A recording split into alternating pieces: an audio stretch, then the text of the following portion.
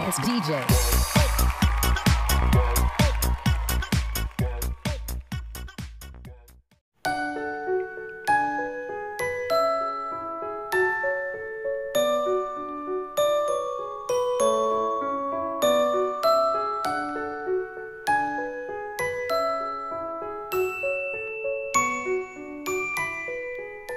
Welcome to food leaves kitchen இன்றைக்கி வீடியோவில் ரொம்ப ஹெல்த்தியான முருங்கைக்கீரை ராகி ரொட்டி எப்படி பண்ணலான்னு பார்க்கலாம். ராகி மாவு முருங்கைக்கீரை. சின்ன வெங்காயம் தான் அதுக்கு யூஸ் பண்ணோம் அப்போ தான் ரொம்ப நல்லாயிருக்கும் உங்கள் காரத்துக்கு ஏற்ற மாதிரி வரமிளகாய் எடுத்துக்கோங்க.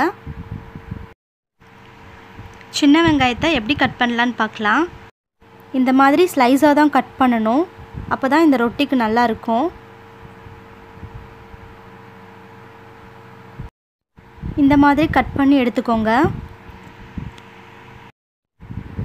கட் பண்ணிவிட்டு இந்த மாதிரி கையில் பிசைஞ்சிங்கன்னா எல்லா வெங்காயம் தனித்தனியாக உதிரி உதிரியாக வந்துடும்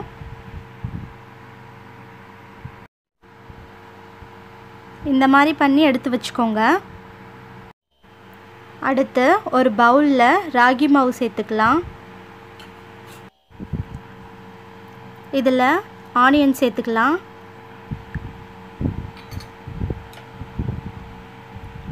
அடுத்து முருங்கைக்கீரை.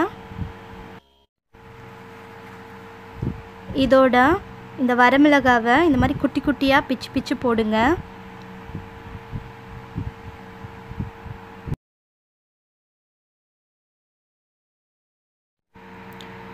இதோட தேவையான அளவு உப்பு சேர்த்துக்கோங்க.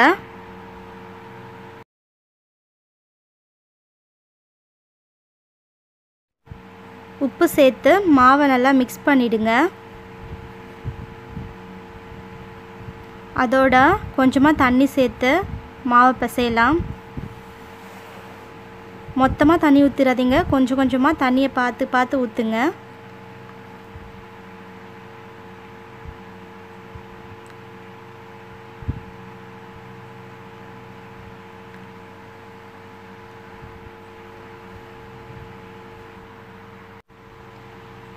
மாவு ரொம்ப ட்ரையாகவும் இருக்கக்கூடாது. ரொம்ப தண்ணி இருக்கக்கூடாது. பார்த்து கரெக்டாக பிசைஞ்சுக்கோங்க. பத்தலைன்னா கொஞ்சம் தண்ணி சேர்த்து உருண்டை பிடிக்கிற அளவுக்கு பிசைஞ்சுக்கோங்க.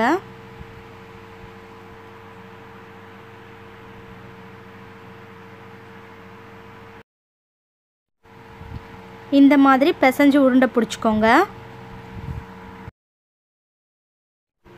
அடுத்து ஒரு வாழை இலையில் இது மாதிரி எண்ணெய் தடவிக்கோங்க.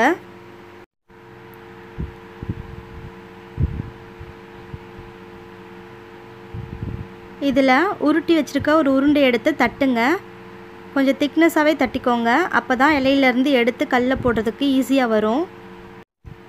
ஒவ்வொரு குழந்தைங்க திக்னஸாக இருந்தால் சாப்பிட மாட்டாங்க. அவங்களுக்காக கொஞ்சம் தின்னாக தட்டுறது எப்படின்னு காட்டுறேன். தின்னாக தட்டினா உங்களுக்கு இலையிலேருந்து கையில் எடுக்க முடியாது. இந்த மாதிரி தட்டி எடுத்துக்கோங்க. தோசைக்கல்லில் நெய் தடவிக்கோங்க. நீங்கள் நெய் இல்லைன்னா எண்ணெய் எது வேணால் சேர்த்துக்கோங்க. சேர்த்துட்டு அதில் ரொட்டியை போட்டுருங்க. உங்களுக்காக தின்னா தட்டி காட்டுறேன். தின்னா தட்டி இருக்கப்போ இலையிலேருந்து ரொட்டி எடுக்க முடியாது கையில். அதனால் நான் இலையோடே கல்லில் போட்டுறேன். ஒரு சைடு வெந்தோடனே இலையை ஈஸியாக எடுத்துடலாம். மேலே நெய் தடவிக்கோங்க. நெய் தடவினா தான் இந்த ரொட்டிக்கு டேஸ்ட்டாக இருக்கும். ரொட்டி கல்லில் போட்டுட்டு சிம்மில் வச்சுக்கோங்க ஃப்ளேமை அப்போ தான் உள்ளே வேகும். ஒரு சைடு வெந்தோடனே திருப்பி போட்டுருங்க. ரெண்டு சைடு வேகட்டும். ரெண்டு சைடு நல்லா வெந்தோடனே எடுத்துடலாம்.